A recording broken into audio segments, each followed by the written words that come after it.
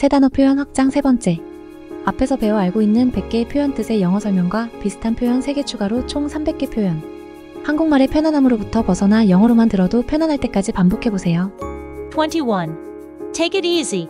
Take it easy is a way to tell someone to relax or not stress too much.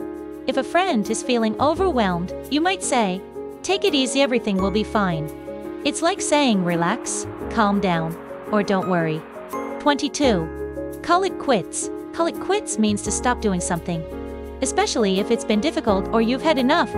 If you're working on a project, but it's not going well, you might decide to call it quits. You could also say give up, end it, or stop now. 23. Let's get started. Let's get started is a phrase to kick off an activity or project.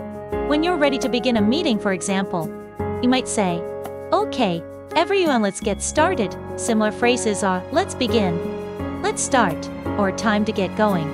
24. Keep it simple. Keep it simple means not to make things too complicated.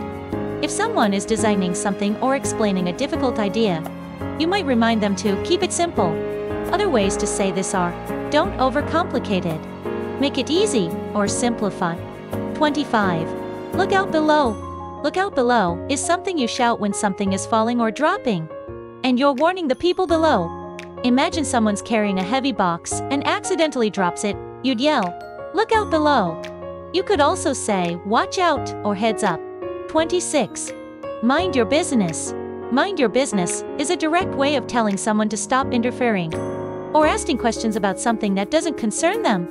If someone is being too nosy, you might say, Mind your business. It's like saying, Stay out of it. Don't get involved, or leave me alone. 27. Cut the crap. Cut the crap means to stop saying or doing something that's nonsense or not true. It's a little blunt, so you'd use it when you're frustrated.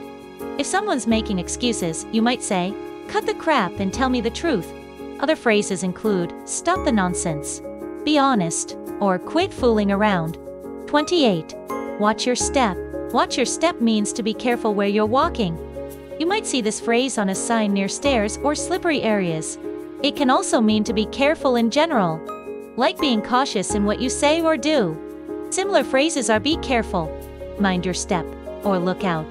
29. Bring it on. Bring it on means you're ready and confident to face a challenge or competition.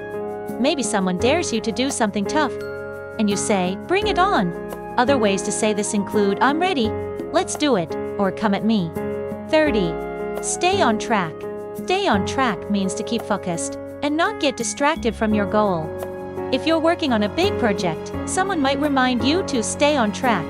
You could also say, keep focused, stick to the plan, or don't lose sight of your goal.